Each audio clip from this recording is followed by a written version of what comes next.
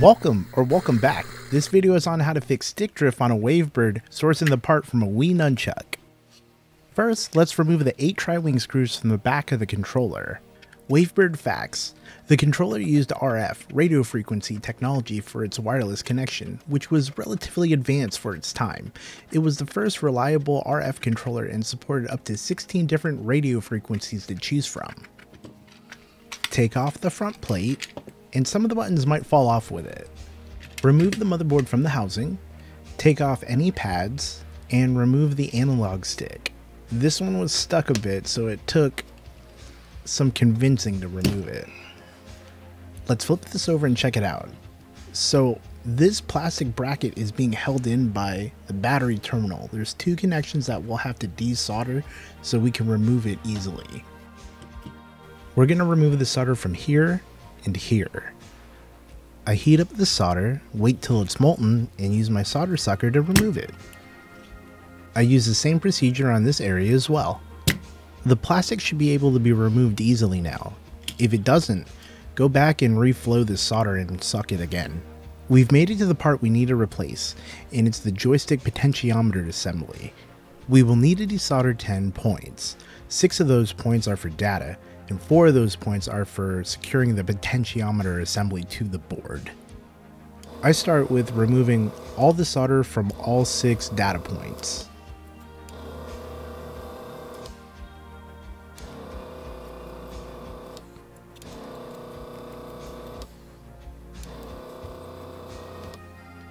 And then on the last four I have to use my solder sucker because they're too big for my desoldering gun. Now I can rock the component back and forth until it releases. If you feel friction when you wiggle it, go back and do the method again. You don't want to lift any pads so make sure you're careful. Clean up the area with IPA and a cotton swab.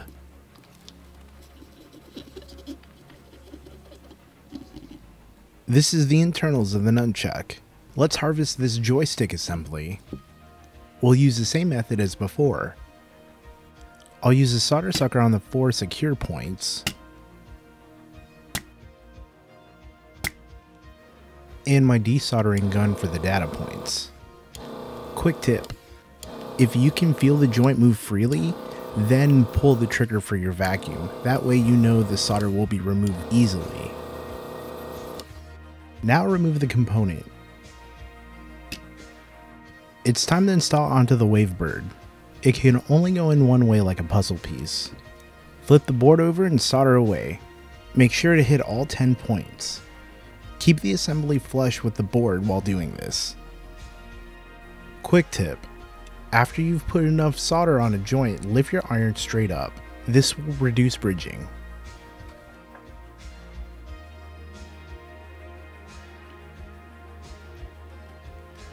Reinstall the plastic piece and make sure it's flush to the board. Let's solder it back in place. From here you can see this lead did not stay on this side of the board, it fell out. To fix this, heat the solder and press the board down, then it will seat itself properly. Time for reassembly. Begin with putting the LNR boards back in their positions. Next is putting back on the frequency dial. Swing back in the C-stick. Be sure to reset the LNR buttons. Put the board back in the back shell. Be sure the battery terminals are seated properly. Install the buttons and button pads on the top shell.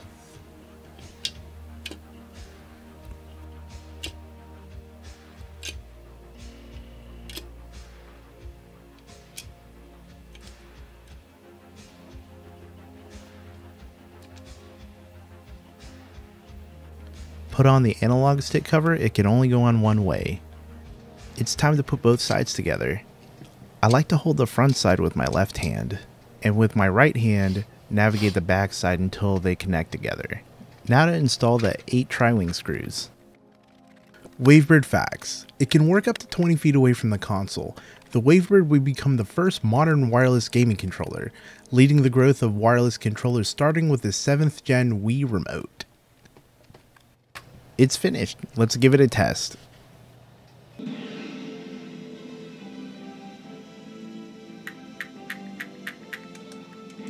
The Wavebird handle is awesome. Since we source the part from a nunchuck, the controller is full OEM without the need from a third party part. Thanks for making it this far. Please remember to like and subscribe. Hey, and thanks for hanging. I'll see you in the next video.